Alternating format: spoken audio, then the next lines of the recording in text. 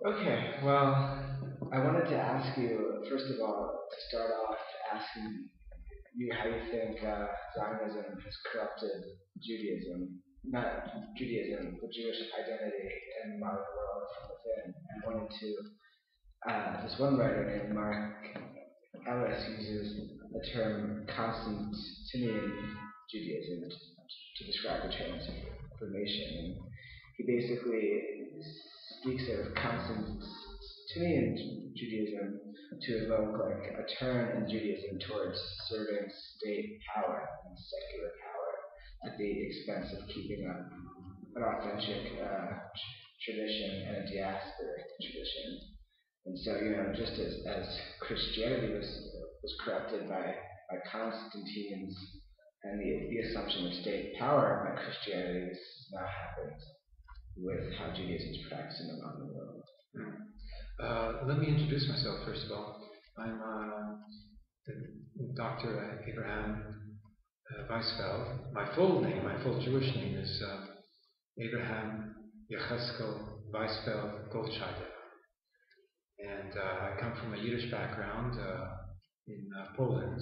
my parents each came from Poland before the Holocaust, and Warsaw lived in and my first language, consequently, is Yiddish.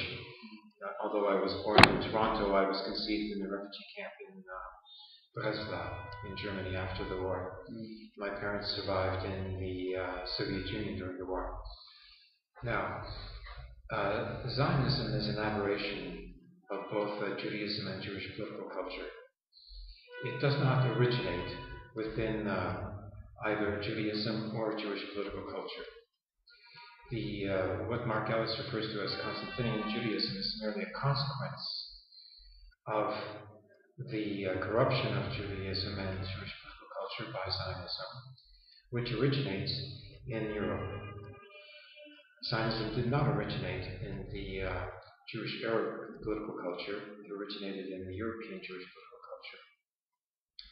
The reason for which was that the, the European nation state which was a Christian nation state, never provided for Jewish uh, liberty within the context of those uh, countries, even though they claim to be developing democracy.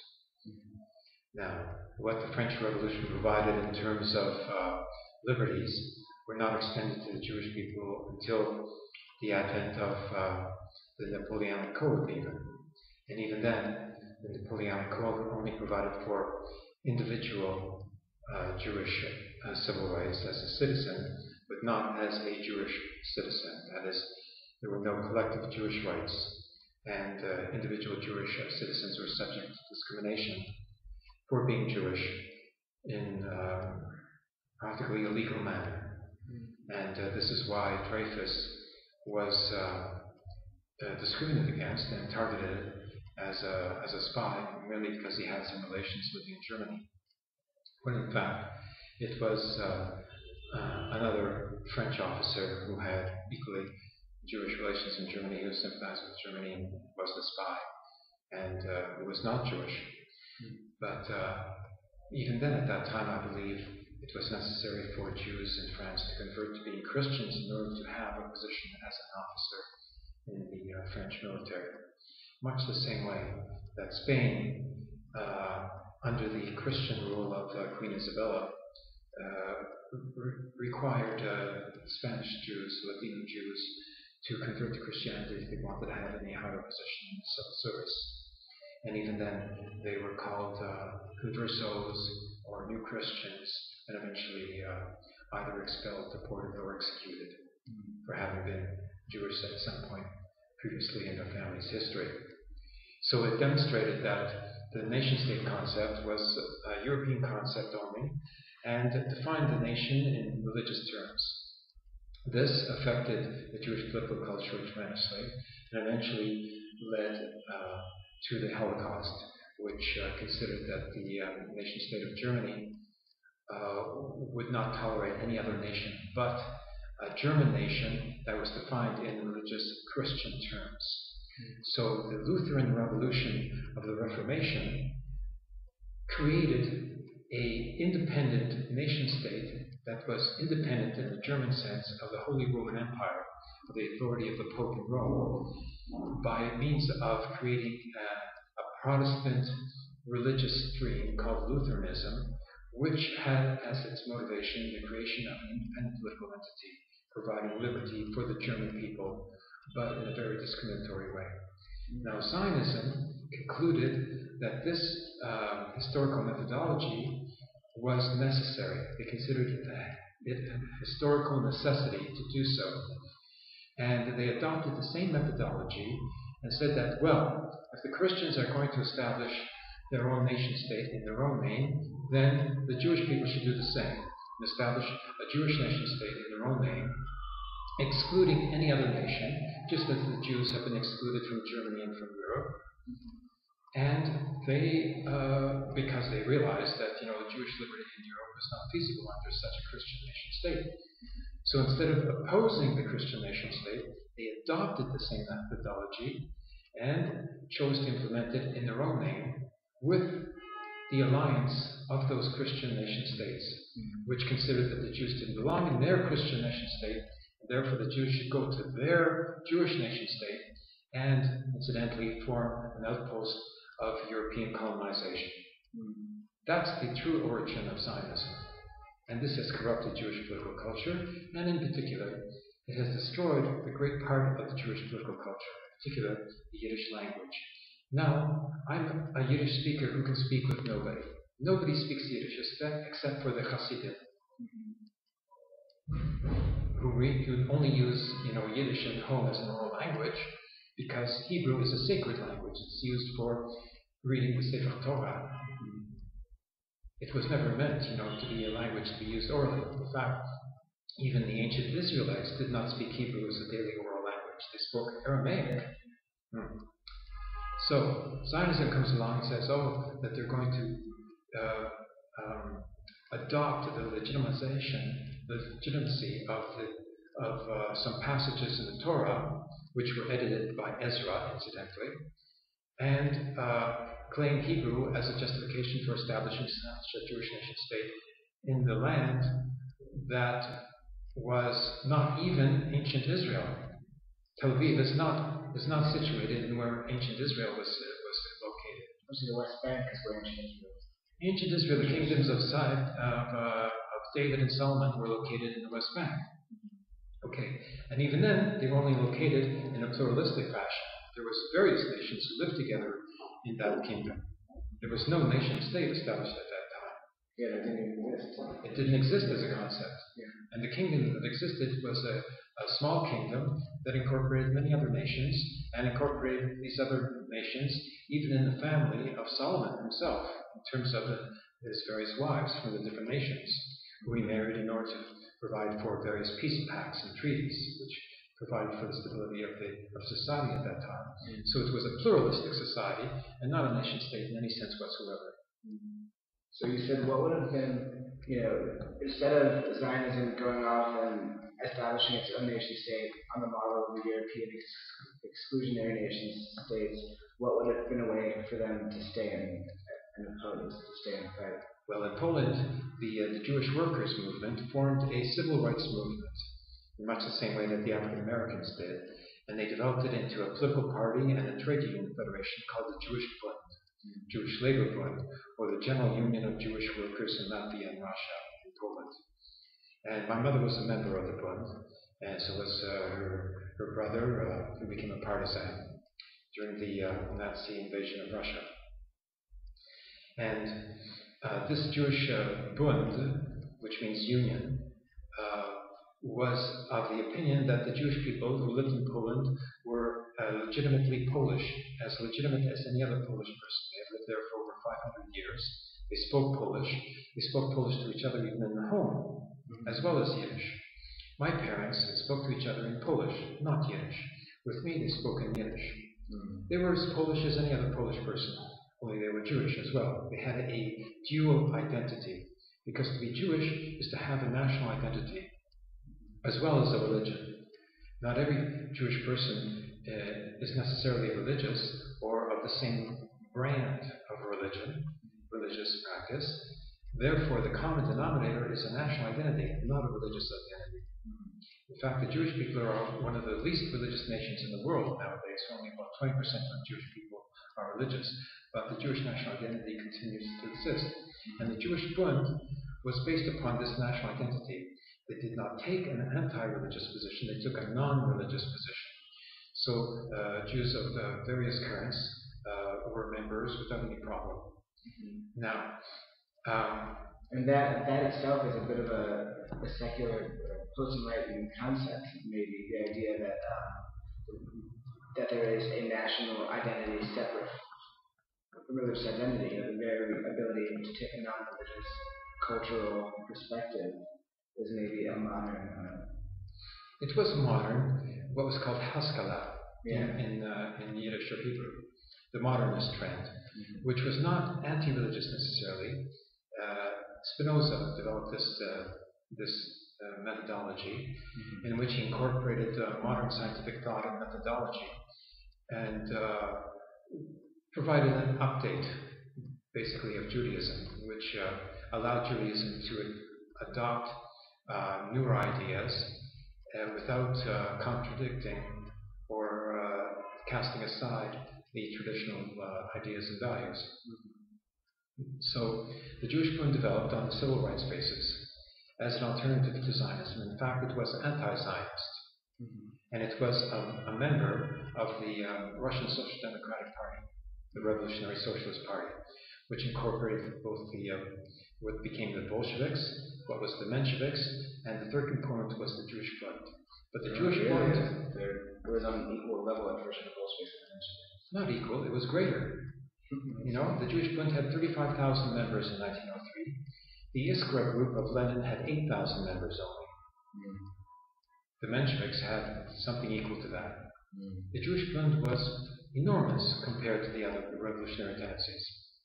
That's why in 1903, both the Mensheviks and the Bolsheviks united at the opening of the Congress to expel the Jewish Bund. That was their first action. Really? That was the first action the The first resolution, yes. Without notice, they were set up. They were expelled from the Congress the and uh, of the uh, of the of the party, the Social, Dem- the, Social Democratic Revolutionary Socialist Party, and uh, then the division between the Mensheviks and the Bolsheviks took place afterwards. And because the Jewish Bund had been expelled, the Bolsheviks ended up being a majority Otherwise, they would have remained a minority of the Congress. Why was Bolsheviks? I mean, sorry, why was the Bund expelled? Why did they? Why uh, both the uh, Mensheviks and the Bolsheviks adopted the Marxist definition of, uh, of, of nationhood. They considered a nation to be a state. They were statists, as Marx was a statist. Marx was a young Hegelian, and Hegel developed the concept of nation state and the state itself, in which he considered the civil society to be subordinate to the state. This is an error, a fundamental error of Marxism, which led to the Bolsheviks actually adopting the same form of the bourgeois state which was developing in Russia under the Tsar. The state that the Bolsheviks took over and, and, uh, and perpetuated had the same frontiers as before, had the same centralized administration as before, the same centralized army under Trotsky as before, and this led to the downfall of the Soviet Union. The first thing they did in 1926 is they dissolved the Soviets, even though the slogan of the revolution was all power to the Soviets. So, after expelling the Bund, they dissolved the Soviets when the revolution succeeded. Then, I like years after 1917. Yes. Yeah. You see, it was always part of the same formula of what uh, power is. They defined power as a state apparatus in which there was a party that was supposed to be implementing a dictatorship of the proletariat in, in the form of the state. And who was to represent the state? The party. Which party? One party, the Communist Party, because there's only one class, and the class is supposed to be a unified working class without any differentiation. In other words, workers were supposed to abandon their national identity and that's why the Bund was expelled in 1903. Even though the Bund continued to exist, And uh, the Bund uh, supported, gave uh, strategic and tactical support to the Russian Revolution, even though it was being led by the Bolsheviks. And the Bund came and offered its support to the Bolshevik uh, government. And uh, what happened is that uh, Stalin, in 1936, I believe, actually arrested the leaders of the Bund, Ehrlich and Alter, because they had formed that Jewish Anti-Fascist Committee, which was an independent uh, committee, independent of the Communist Party. And Stalin would not allow any political formations that were independent of the Communist Party. He arrested the leaders, put the Jewish communists in their place, take over the Jewish Anti-Fascist Committee, put them in prison, and uh, interrogated them. Ehrlich, you know, wrote a great deal uh, at that time, which needs to be published. But eventually he was executed. No, it's not published yet. And Alter committed suicide a couple of years after that. So, uh, and the Nazis, of course, destroyed the uh, nearly entire membership of the Jewish Bund, Warsaw, etc. So the Bund was uh, devastated by both the Nazis and by the Stalinists. But it survived nonetheless. And here I am. You know, I was raised as a Bundist by my mother, secretly anti-Zionist. My mother was my secret collaborator against the Zionist movement in Toronto when I started the campaign to criticize the Zionist uh, leadership in Toronto as early as 1966 67. Mm-hmm. So the communists couldn't um, handle the Bund having a, a, dual identity as full members of the working class struggle, but also having a separate, autonomous national identity as Jews. That's right, precisely. And uh, they could not tolerate uh, neither the Ukrainian working class having its own identity you know, uh, Makhno, who was an anarchist leader, was leading the uh, Ukrainian revolution against the White Army in the Russian Revolution. He was not allowed the autonomy of the Ukrainian people, even by Trotsky. Mm-hmm. Trotsky offered to integrate, you know, the uh, who were the anarchist fighters against the White Army, the Tsarist army, into the Red Army. And he offered Makhno a position as a general Makhno turned this position down because he wanted to maintain the autonomy of the Ukrainian forces because they were fighting for an independent Ukraine. They always wanted an independent Ukraine from the Tsarist Empire, and they still wanted independence, you know, of the Ukraine from the Bolshevik Empire, which is basically the same empire as the Tsarist Empire, same frontiers. So, Bolshevism adopted the same form as the Tsarist Empire, the same state, the same frontiers, mm-hmm. the same repression. Mm. And that eventually led to the downfall of the Soviet Union. One of the major factors was uh, uh, national rebellions against uh, uh, Russian uh, control or influence in their countries, in particular Afghanistan. Yeah. But so it's interesting how the how whereas the Bund sought to maintain you know,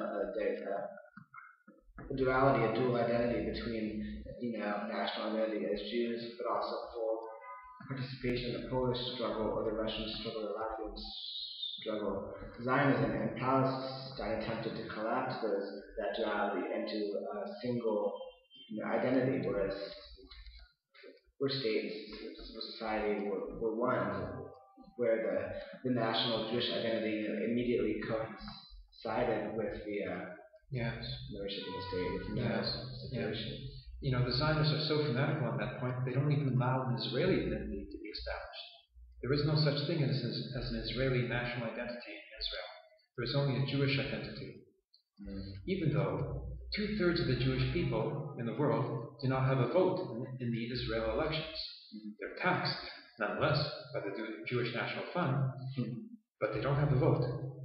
So, Jewish Americans, for instance, are uh, taxed without a vote, and, and in Jewish American in, in American history, this is called taxation without representation, and it was the major reason why there was an American Revolution against the British colonial empire. Mm-hmm. So that's why I advocate a Jewish revolution against Zionism mm. for the independence of the Jewish people from the state of the Zionists. Because it's not a state of the Jewish people. This is not a Jewish nation state. Mm-hmm. In reality, this is a Zionist nation state, mm-hmm. or a Zionist state they don't, you know, there may be an Israeli nation now, mm-hmm. but it is not a Jewish nation. It is an Israeli nation, and it is Zionist, and it is, uh, does not represent the Jewish people. And by the way, I use the term Jewish. The Jew is an American term which derives from a British uh, insult to the Jewish people. In the 1933 edition of the Oxford Dictionary, you will find Jew defined as an insult. Really? Yes. In fact, that's what the Nazis used to define the Jewish people as an insult. You know, when the yellow star that was imposed upon everybody to wear, and, and in the center it said Yid. Yid means Jew. Jew. Mm. It's an insult. What would the alternative? Jewish. Ah. So the word. It's an adjective. You know, there is no such there is no uh, such thing as a Jew. It is not it is not an entity in and of itself. There is a Jewish person because we are people. We are not an object. The term Jew is an objectification of Jewish people in terms of alienation theory. Mm. So what would your Jewish revolution again be? Zionism be? It would be international Jewish. We have formed an international Jewish opposition to Zionism now. There are various Jewish organizations Mm. that are either anti-occupation or anti-Zionist. Mm. There is, for instance, now even the International Jewish Anti-Zionist Network Mm. that was uh, initiated uh, in the United States and now extends uh, elsewhere. There is a Jewish Voice for Peace, which is very principled. There is J Street, And uh, altogether, the number of members of these various organizations in the United States alone is 190,000. The Zionists have only 130,000 members in the United States. We are now stronger than the Zionist movement. Really? Yes, Well, I mean, the official members in the Zionist. that's right. In the Zionist organizations. But they have a lot of supporters and sympathizers Yeah. who donate and etc. Mhm. But uh, they are not, you know, uh, Zionists per se. In fact, the fact that all of these Jewish Americans live outside of the Zionist state defines them as, objectively speaking, non-Zionist. Mhm. Although they're not anti-Zionist for sure. Mhm. But the fact that they refuse the Zionist ideological imperative of going to live in the state that the Zionists have created means that they are non-Zionist. They have no intention of going to live there, and until recently, even uh, only 20% of Jewish Americans even bothered to go to visit Israel Until recently, until until uh, programs like Birthright, because they realized, you know, that this was a big problem for them to maintain their ideological hegemony. So they uh, brought, you know, young Jewish Americans over to be indoctrinated. Mhm. So back in uh, um, uh, in Russia, there was a time when the, the Jewish community was split between Bundism and, and Zionism, you know, where they almost polar uh, opposing tendencies, like one advocating, you know, diaspora involvement in international struggle, and one advocating separatism. Yes, they were separatists, segregationists. They wanted to segregate the Jewish people in Israel. They wanted the Polish Jewish people to leave Poland and go to uh, Palestine. And uh, the, even though their own members didn't do so, and very few, you know, people actually did go to Palestine at that age. And in the 1936 municipal elections, the uh, Jewish Bund uh, got more votes than the Zionists. Mm. It was a stronger political tendency. Mm. So you you you believe that to effectively combat Zionism from within the Jewish people, it's necessary to to craft a new Jewish identity. That you know because the modern Jewish identity is so bound up right now with Zionism and the state of Israel. I remember you were telling me before that it's necessary really to recraft or what it means to be Jewish. Well, I think that reasserting Jewish identity is uh, the problematic. Um, you know, a Jewish American culture is very strong. Mhm. It's not Israeli. It's not Zionist. It is Jewish, and it is also American. and has contributed greatly to American uh, political culture as well. But it is nonetheless Jewish. I know there is this tendency, you know, the melting pot idea in the United States, that if you're American, you're American, you're American. But it happens to be that Jewish Americans are also Jewish in spite of all of that. Mhm. So this has to be asserted, you know, in an independent fashion, and uh, Jewish identity has to be rebuilt without uh, feigning uh, uh, allegiance, you know, to, to the Zionist state, Mhm. which is artificial and uh, does not is not representative of the actual the actuality of Jewish political culture in uh, North America or any other country like France, England, South Africa, or Australia, mm-hmm. you know, it, it just you know is is false. It has no truth to it. The Israelis can keep and develop their identity, which is very much also a Palestinian identity, even though they don't realize it. Things like hummus and yes, you know, where do they get this from?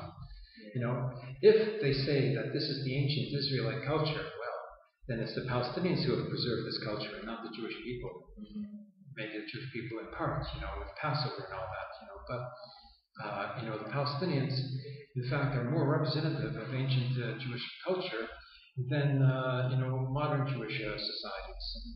And in fact, you will find in history that if you choose to make any research on the matter, that a large percentage of the Palestinian people are actually ancient Jewish people yeah, converted to Islam. Who converted to Islam. Or who did not convert to Islam. Like the Jewish uh, Palestinians who live on top of the mountain over there. Yeah. Yeah. yeah. the Samaritans. Yeah. You know, they're still there. Yeah. Yeah. Yeah. But a large part of you, you aim to make a, a, a new international boom. Can you tell me a little bit about that? Yes, that's uh, the, the major point that uh, remains to be uh, uh, elaborated, um, the political voice for the new, for the resurgent Jewish identity has to be the Jewish Bund. One, because the Jewish Bund was proven correct in its critique of Zionism, in the sense that it was not necessary for Jewish people to run away to Palestine in order to preserve their identity. Jewish people are not going to be assimilated. Mm-hmm. Jewish people maintain their identity even though they live as uh, members of other societies. Jewish people are strong enough uh, to be able to maintain a dual identity. The concept of a dual identity is missing from Zionism and also the Christian nation state concept. You can have more than one identity. You can speak more than one language. Mm-hmm. You know, humans are not limited to being just one thing. You know, that is just an objectification of what it is to be Jewish. Mm-hmm. To be Jewish is to be creative, is to develop new ideas, to adopt new ideas, to learn from other cultures, and to um, fuse them with what the Jewish people have developed from the various cultures that we have learned from, to develop uh, an internationalist culture which is very dynamic mm-hmm. and has helped to bring about even the Renaissance in Europe because we transmitted the knowledge of the Middle East to Europe.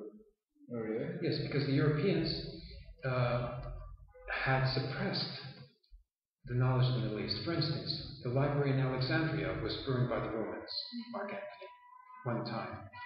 The second time, it was burned by the Arab Christians who adopted the Christianity at why, the time of 600 uh, AD. Why did they do that? Ah, because no other book but the Gospels was supposed to be read by people. Oh, so the Greek.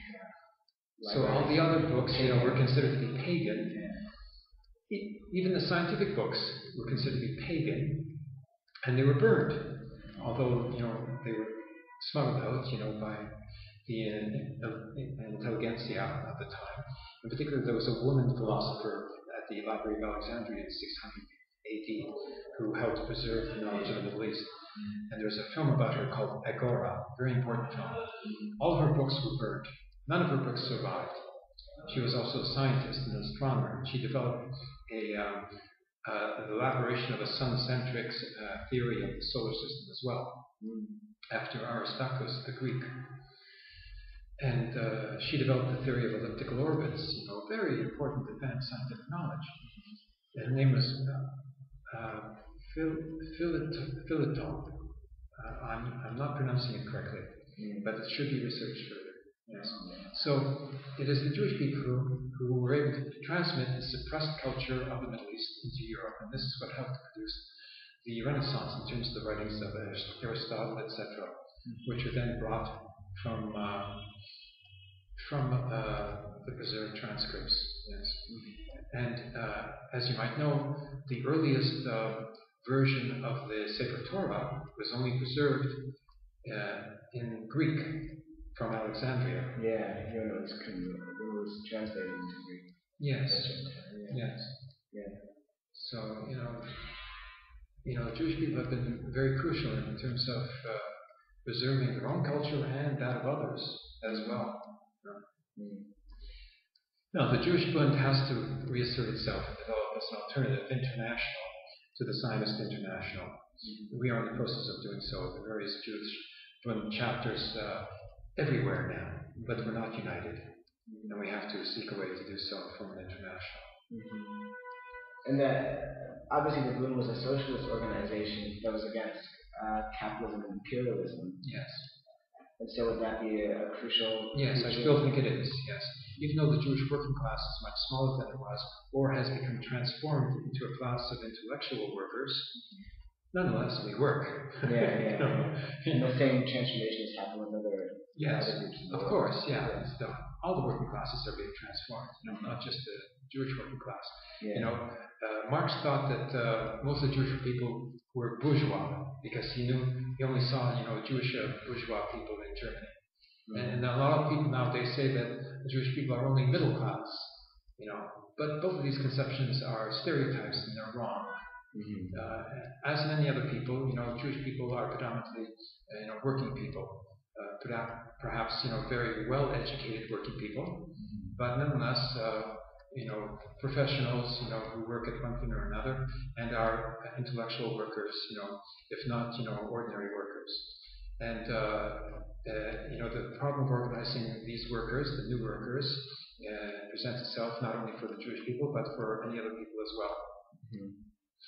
And, you know, the, the level of uh, unionization in the United States is very low. It's like 15%. percent mm-hmm. So uh, the same thing holds true, you know, for the Jewish people.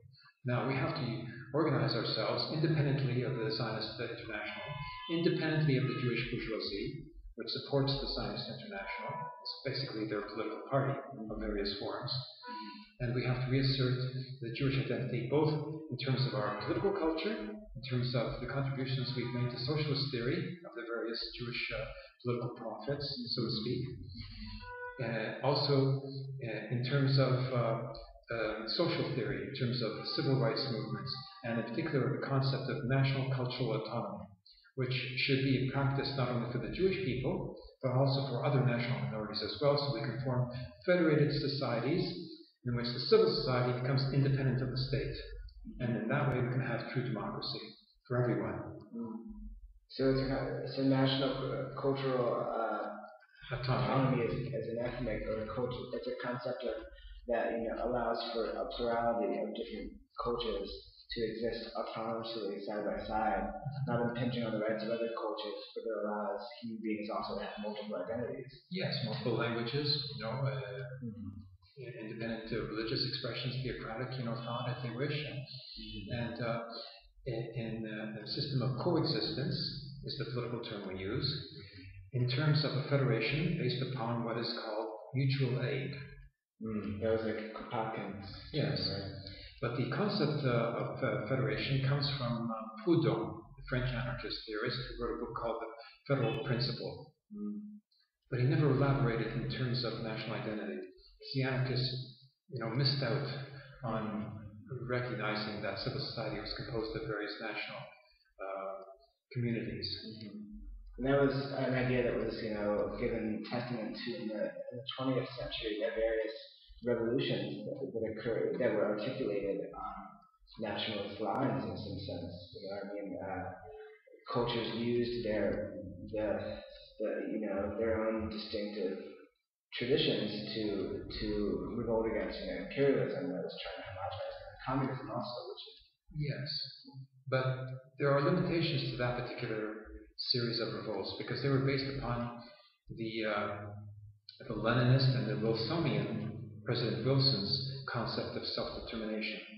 But what those meant by self-determination was self-determination as a nation-state, that is separatism.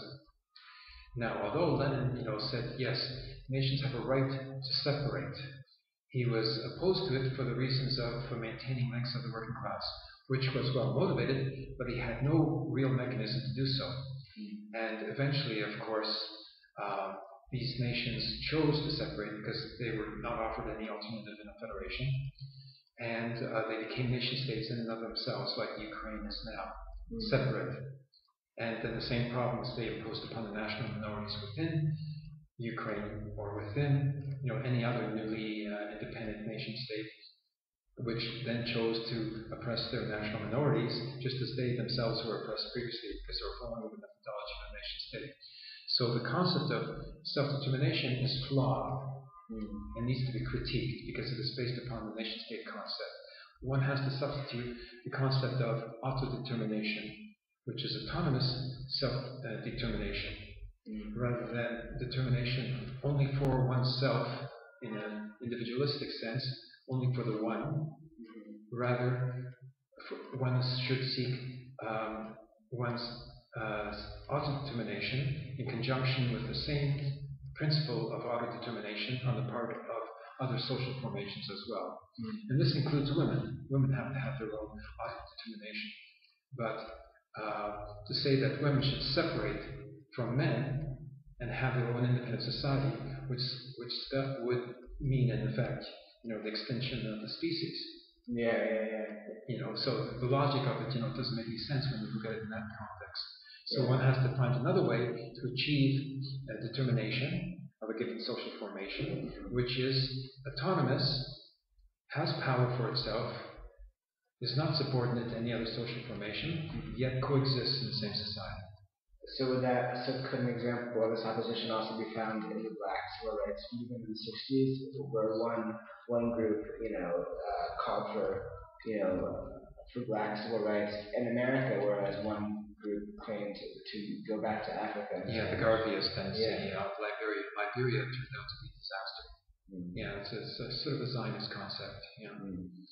Interesting. Yes, yes, it's similar. Yes, and the civil rights movement uh, was basically a movement for integration, mm-hmm. which is what we want, you know, for national minorities, but not assimilation. Mm-hmm. So that's the Bundist concept here. Integration, but not assimilation. Yes basically because assimilation is impossible. It was tried previously in uh, Isabella, Spain, and in uh, Dreyfus's France. Mm-hmm. Did not work. Mm-hmm. You know, liberal democracy does not work.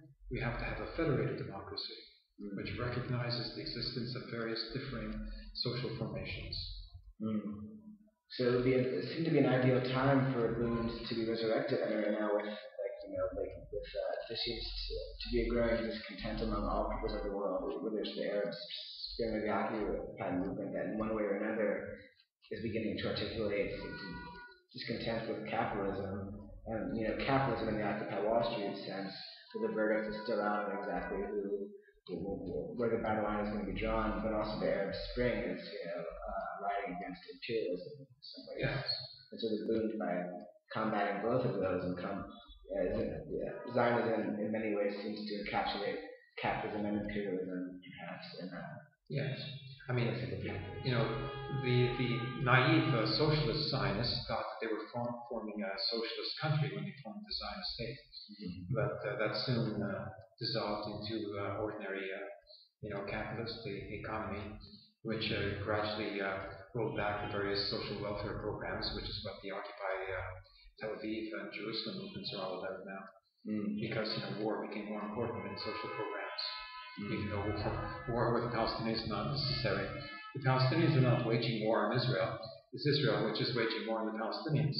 Every day here we have F-16 fighters, fighter planes coming flying over Nablus.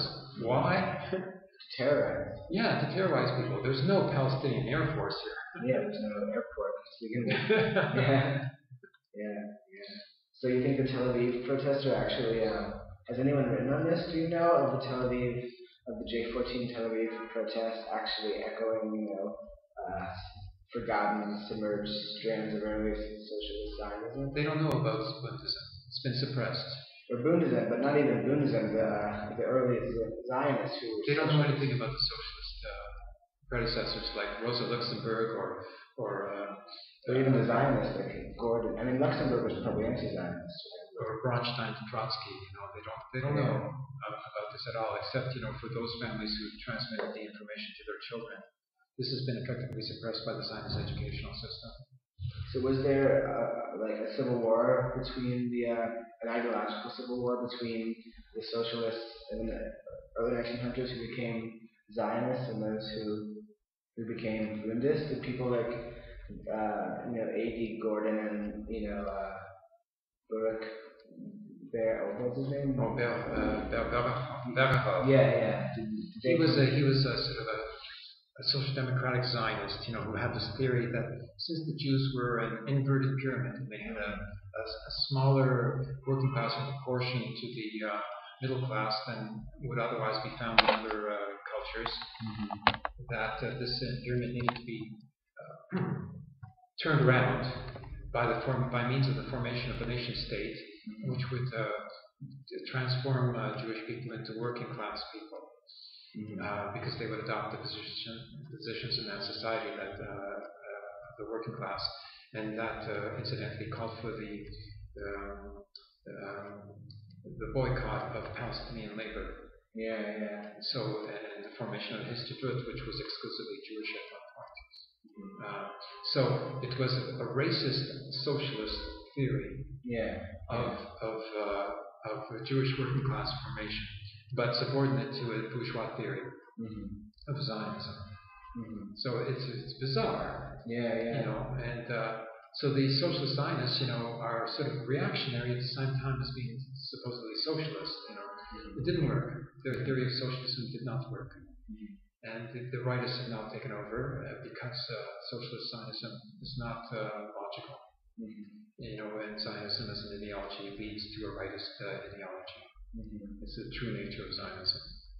I found this quote on the internet. Um, the tragic peculiarities of Jewish society could not be eliminated by seeking to isolate it from decaying capitalist society as a whole.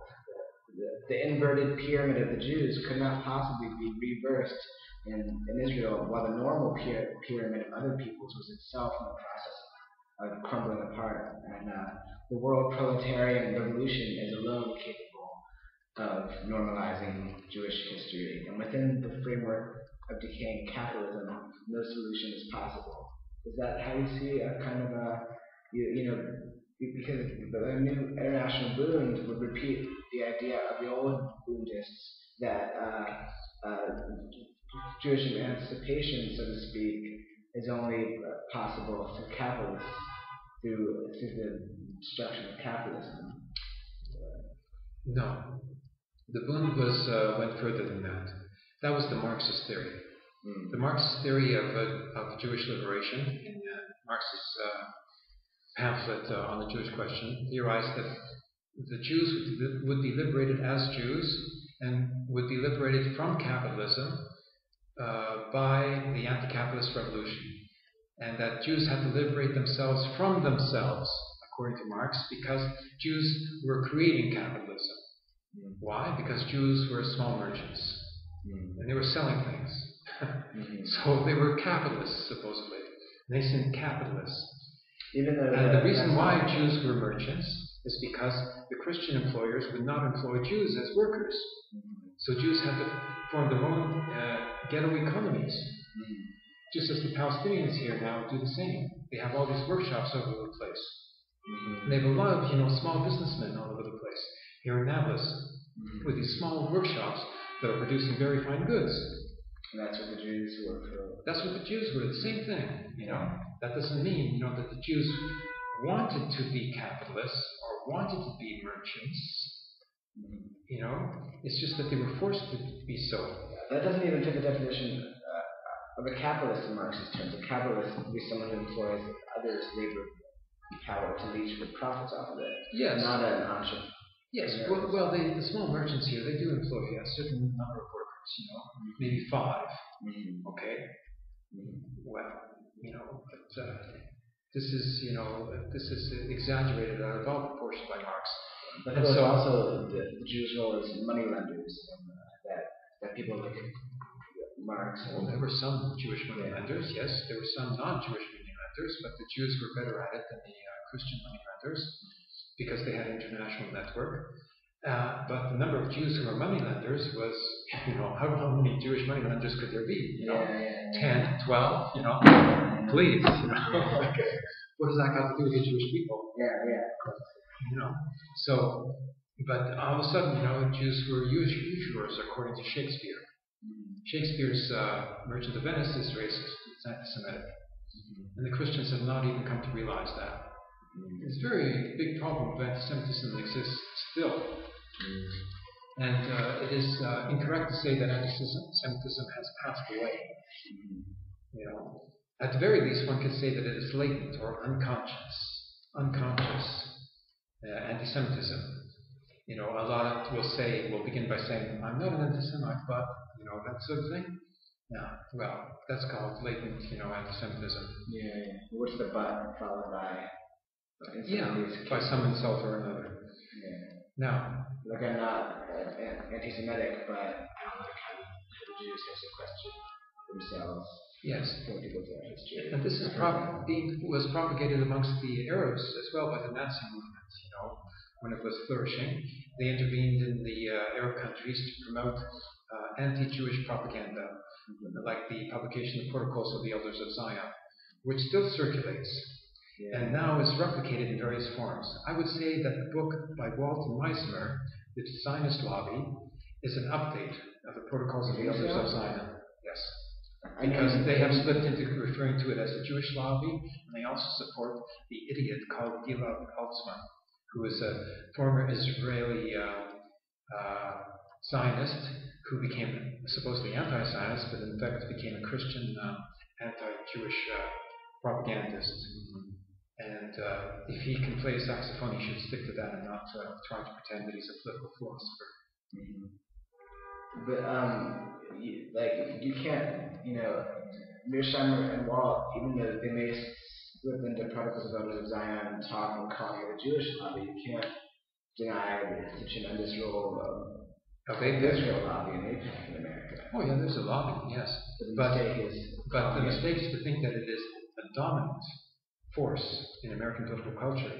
Because how can one say that AIPAC, which is based upon uh, 2% of the population in the United States is more powerful than the 30% of the population in the United States, which follows the Christian evangelical movement, which is pro Zionist, mm-hmm. and which controls the Republican Party now, and which now controls the Congress, mm-hmm. and which, you know, cut off funding, you know, to the Palestine Authority because uh, they had applied for uh, independent uh, recognition, you know, by the General Assembly, by the United Nations. Mm-hmm. Okay, so Congress, United States Congress, which cut off funding, you know, to the PA, mm-hmm. and later on, you know, had to re, uh, re reestablish it because uh, it provides for the security apparatus, which mm-hmm. calms things down here for Israel. Israel actually asked the Congress to reestablish this funding for the PA.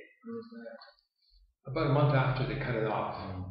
but they cut off the funding not because of the Zionist lobby, not because of Israel, you know, and the proof is that Israel asked them to reinstate the funding because of the Christian uh, mentality that infects a third, a third of the American population, mm. which considers that Israel is the proper place for Jews to be, Jew, Jew, uh, Jewish Americans, mm. and uh, which actually promotes the idea of the United States as a Christian nation state, and uh, in effect, you know, thinks that the Jewish Americans should go to Israel and lead the United States to them. Mm. Now, this is the tendency that is dominant, not AIPAC. It is far more powerful. It obviously controls the Congress. It obviously controls the Republican Party. Obviously controls the Tea Party movement.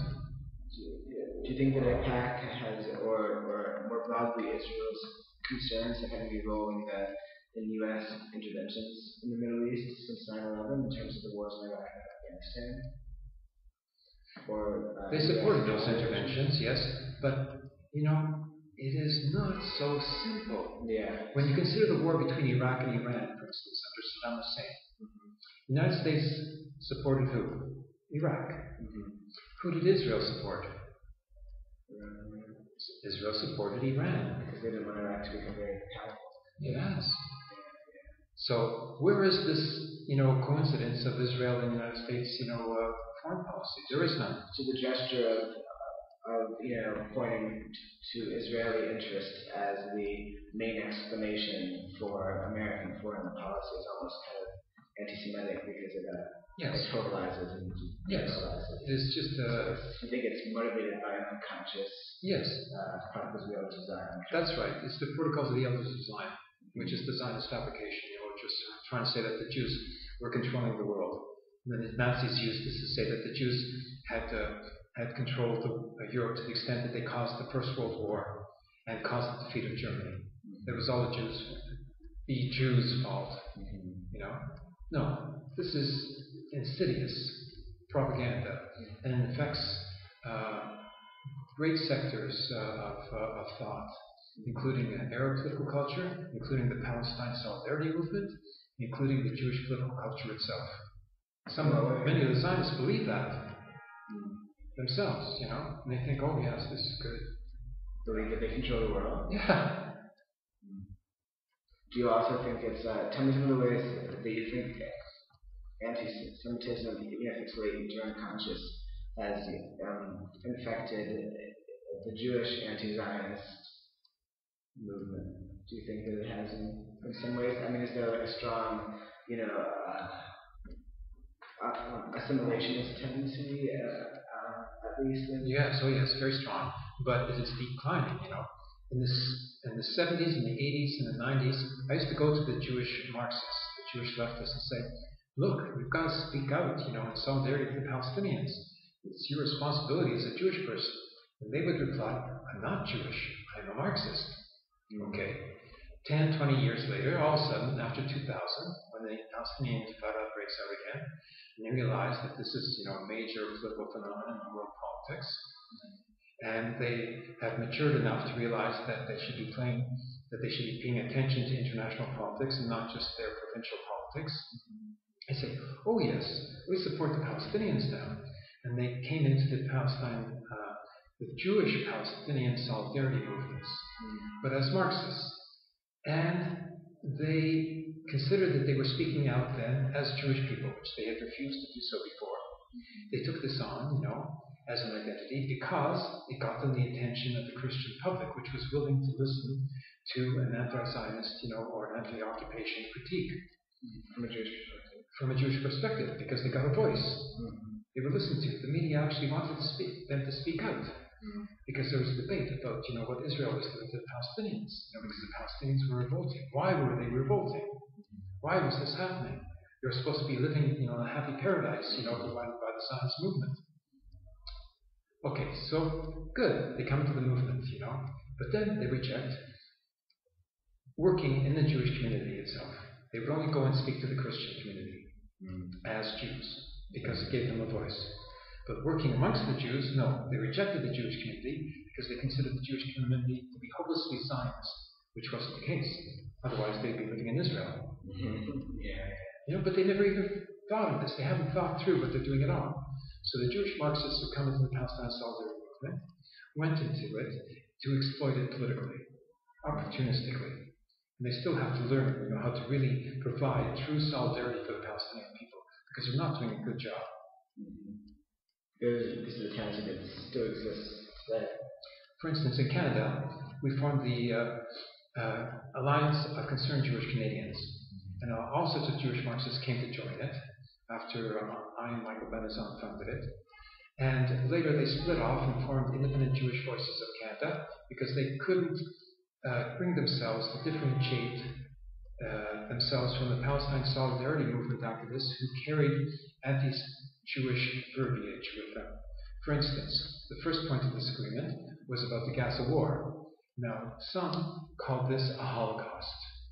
As a Holocaust family survivor, I pointed out this was not a Holocaust, mm-hmm. that it was uh, a piece of propaganda to do so, and it would do, not service the Palestinians to use language like that because you know, anybody it would alienate the Zionists even further. It would, well, it would alienate, well, the Jewish people. Yeah. It would uh, not serve to educate the Zionists.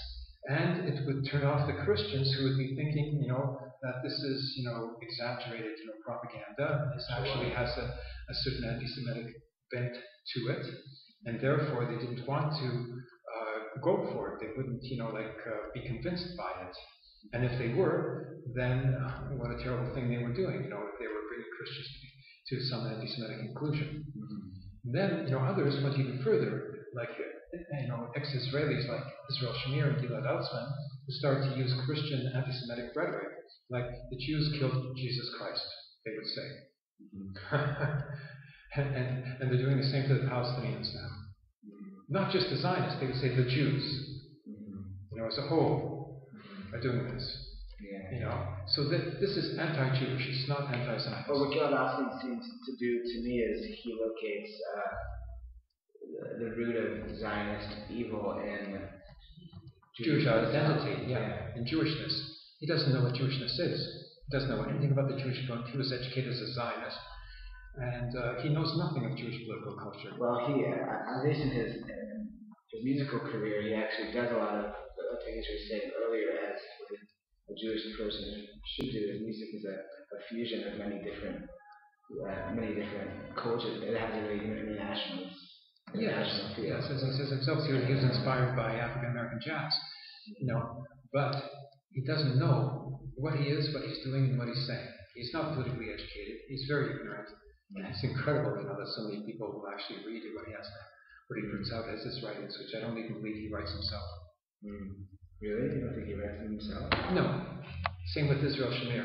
I saw Israel Shamir speaking in one time. He can barely speak in English. And he's writing, you know, English uh, uh, prose, you know, political prose. No, he's not writing that stuff. He's, he's a front man for a right wing organization. Mm. Um, so, what happens to, to the Bund after World War II? It was basically destroyed, but then didn't many of some Bundists come and become leftist Zionists in Israel? Some went to live in Israel because, as you may know, 48% of the Jewish refugees after the Holocaust went to live in Israel because they couldn't get a visa to go live in any other country. 52% chose to go to uh, the United States or Canada. Uh, but it took a while for, uh, for my, my father, for instance, to get a visa to go to Canada, even though his sister was inviting him to do so as a Canadian citizen because Canada didn't want to have Jewish refugees coming there. So it was very difficult to get a visa to go to any other country.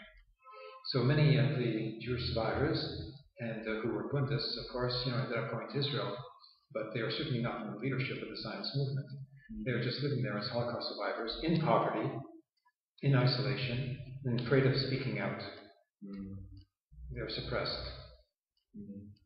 So now we have to assert ourselves we have to take on our responsibility and we have to take pride in what we have preserved as Jewish political thought and we launch it, you know, for the benefit of all the Jewish people and for the benefit of the Palestinians. What, what are some of the gems of Jewish political thought that we have preserved that we should take pride in and This concept of national cultural autonomy. This applies not only to the Jewish people, it applies in many, many different contexts the Palestinian people in some ways, other they, you know, they want their own No. National cultural autonomy applies to the Israelis. Mm, in sense? When you have a united society here, you know, we have an integrated territory. Mm-hmm. You know, there's a lot of Israelis who live in the West Bank now. There's still a lot of Palestinians who live in Israel as citizens, you know, one and a half million. You know, and neither is going to be leaving. Okay. Mm-hmm. So, you know, there's no territorial, territorial contiguity in order to form a separate Palestinian nation state.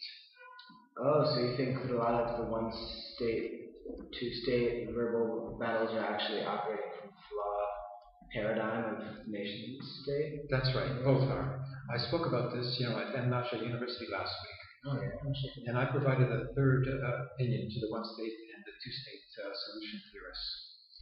Now, you have to get out of that segregationist uh, mentality uh, because uh, the problem, you know, because you can't separate, you know, the peoples into two states, two nation states, first of all. Okay. You know, it would be disaster. You know, and there's also the same, you know, idea in, in a certain sense as the right-wing Zionists who want to remove the presence of the Palestinians and put them into ghettos. Bantustans, you know, in the West Bank somewhere with the autonomy. Now, the one state solution, it provides for a democratic secular Palestine, the old PLO formula, which is a uh, uh, state formation which would be based upon one homogeneous culture. In other words, you know, it would be pretending that there would be one nation for one state. There would be no differentiation between all the citizens. Everybody would have equal civil rights. rights. Equal rights, yeah. But this doesn't work because there's an inequality between the Israelis and the Palestinians. The Israelis are rich compared to the Palestinians. You know, so what is supposed to happen? The Palestinians are supposed to be forming a lower working class, you know, who works as hewers of water, and, you know, for, for the Israelis forever and ever. Mm-hmm. No, this is the same sort of parallel that exists in Canada between the French Canadians and the English Canadians. The French Canadians were supposed to be, according to the Durham report, the hewers of water, and the, the drawers of water and hewers of wood. Yeah, that was. You know, the biblical formula.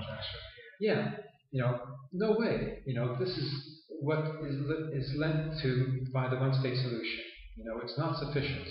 One has to have autonomy for each nation so they can have their own independence within a social federation, and with their autonomy, they can have their, their, their own development. They can promote their own development without being supported economically or politically to the other nation. How, how could that? Uh, Furthermore, furthermore, one-state solution doesn't work because you know it doesn't allow for the return of the refugees. Because if they're saying, "Oh yes, we're all mixed," you know, so let's have a you know an equal society here. But what about the refugees? It doesn't allow for the return of the refugees, you know, because how is it to be decided that the refugees are going to return? You know, so you know you have an election. Now, if the Israelis win because they have 50 plus one votes, they're not going to allow the refugees to return. Mm-hmm. If would be the. Palestinians War.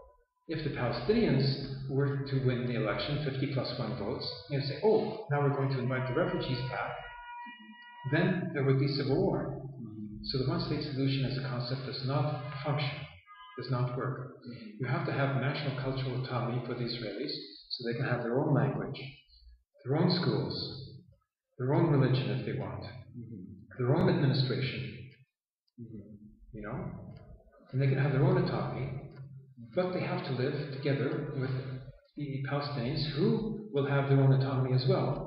And can, this allows for the return of the refugees because there's no automatic majority anymore. It's not majority rule anymore in a liberal democracy. It doesn't work here.